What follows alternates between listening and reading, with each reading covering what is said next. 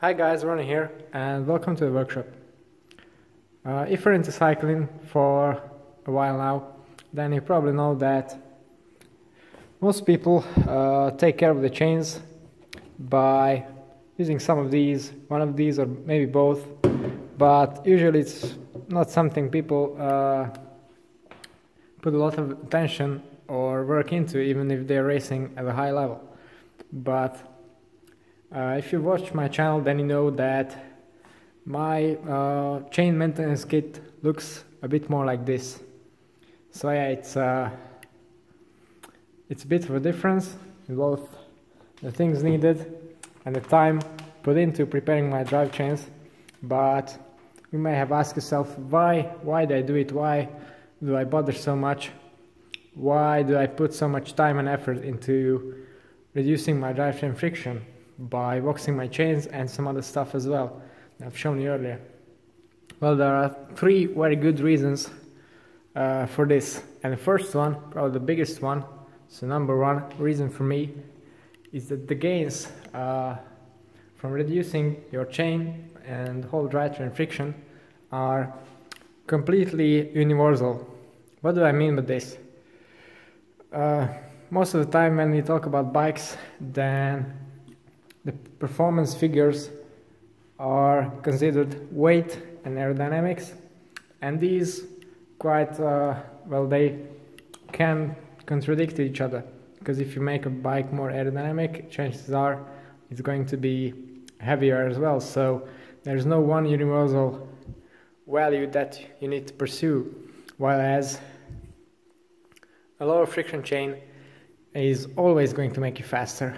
Uh, whether you are riding at 50 km per hour on a time trial bike, on a track bike in a velodrome, on a road bike, in a bunch, in a sprint, on a 20% climb, on a commuter bike, riding to work, on a mountain bike, on a BMX, any chain driven bike, if you take that chain, take care of it well, and reduce its friction, it's going to make you faster. No, ma no matter what bike you're riding, where you're riding, and how you're riding it, how much power you're putting out, the gains are always going to be there.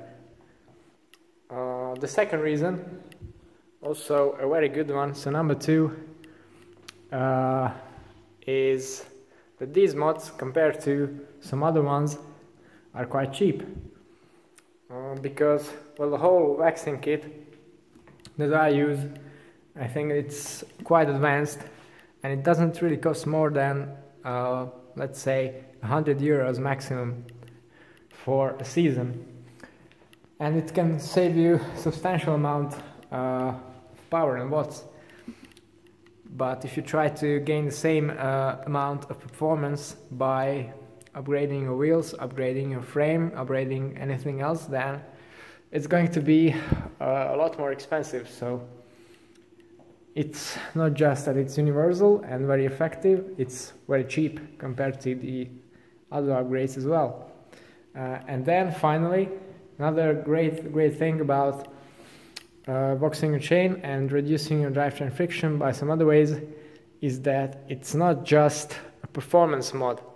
What do I mean by this? Of course, if you reduce your friction uh, of your drive chain, if you wax it, you make it faster, more slippery, and much, much cleaner as well. And that means your chain is going to last a lot longer, it's going to be a lot cleaner, your chain rings are going to last longer, your cassettes are going to last longer, and everything else on your bike basically. Uh, the jockey wheels, the derailleurs, and so on. So it's not just a performance mod, it's a durability mod as well, and that just adds up to the cost effectiveness of the upgrade itself. Uh, on my chain waxing videos, I got uh, quite a lot of questions uh, regarding this topic. So if you're watching this video and you know my channel, then I really ask it if something is not clear for you uh, in the processes in previous videos. I'd like to put your questions in the comment section down below so I can make a separate video about addressing these questions. Now, if you want to see the waxing videos themselves, then don't forget to uh, tune into my channel and subscribe. It's all for today. Thanks for watching and see you next time.